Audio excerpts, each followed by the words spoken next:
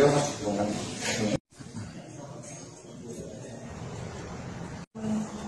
ตรงนี้นะฮะถูกน่องขาดเลยให้หนูทำงานเสร็จแล้วเรื่องนี้นี่เราอยากจะให้ยุติยังไงครับ สำหรับหนูหนูก็อยากให้พี่เขาพี่เขาว่าเขาเป็นครูก็อยากให้พี่เขารับผิดชอบในส่วนที่ฟันของหนู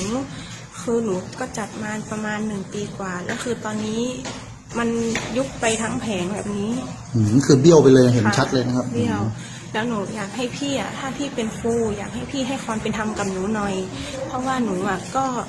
ก็ทำงานเหมือนกันทำงานรายวันไหนจะเสียค่าขาดงานอะไรมาอีกค่ะ อยากให้พี่ช่วยดูแลหนูในเรื่องนี้หน่อยค่ะ เพราะว่าหนูเป็นคนไปห้ามพี่หนูไม่รู้เรื่องไม่เคยรู้จักพี่เลย ถ้าพี่เป็นครูครูน่าจะมียังไงอะ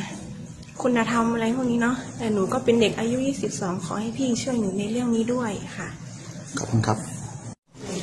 เรื่องราวเมื่อคืนนี้มันเกิดขึ้นยังไงครับ เรื่องราวเมื่อคืนคือเราก็ไปนั่งกินกับเพื่อนเราแล้วก็แฟน แล้วก็ในที่ร้านมีอยู่ลูกค้าเยอะมีสามโต๊ะโต๊ะไหนก็ประมาณสามสี่คนค่ะ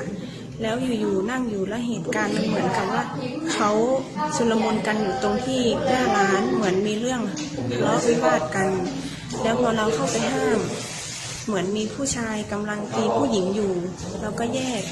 เจ้าของร้านก็แยกทางเจ้าของร้านเขาก็เป็นผู้หญิงคนเดียวค่ะ ต่างคนต่างแยกพอแยกเสร็จ เราก็เก็บรองเท้าเก็บอะไรให้เขาเสร็จ แล้วเราก็ยืน แล้วอีกทีหนึ่งคือแบบ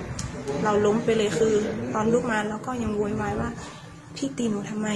ล้มเลยคือล้มจากอ่าแรงอะไรฮะ เราโดนอะไรฮะ แรงชกตีที่แผลจมูกอ๋อ นี่ชกชกไปที่คางเราเลยใช่ไหมครับ แล้วเราล้มไปเลย ล้มไปล้มทั้งยืนมีแผล ตามตัวตามที่หินค่ะอืมแล้วก็คือมีแผลถลอกตามตัวด้วย แล้วแล้วอารมณ์นั้นคือแบบพี่ตีหนูทำไมหนูมาห้ามพี่ตีทำไม หนูอุตส่าห์มาห้าม แล้วเหมือนเขาเมา แล้วแล้วแล้วเพื่อนที่ข้างโต๊ะบอกว่าที่นั่งแล้วมาห้ามด้วยกันว่าเลือดออกเลือดออก แล้วก็ดูเลือดออกแล้วเราก็ว่าเราจะแจ้งความพี่พี่อย่าเพิ่งไปนะหนูขอแจ้งความ หลังจากที่เราไปตรวจร่างกายที่โรงพยาบาลเชียงคำใช่ไหมครับ ค่ะ แล้วเราเจอพยาบาลนี่พยาบาลว่ายังไงนะ พยาบาลบอกว่าพูดพูดว่าเป็นคู่กรณีกับคนเมื่อกี้หรือเปล่า หนูก็บอกว่า อ๋อ ไม่ใช่ค่ะ แต่ว่าสามีของพี่เขาตีหนูอ๋อเขาเมาเขามากลางมาพูดว่ารู้จักสอสอคนใหญ่คนโตแถวนี้รู้จักหมดอะไรประมาณนี้อืมเหมือนทางโรงพยาบาลได้แจ้งให้ตำรวจไป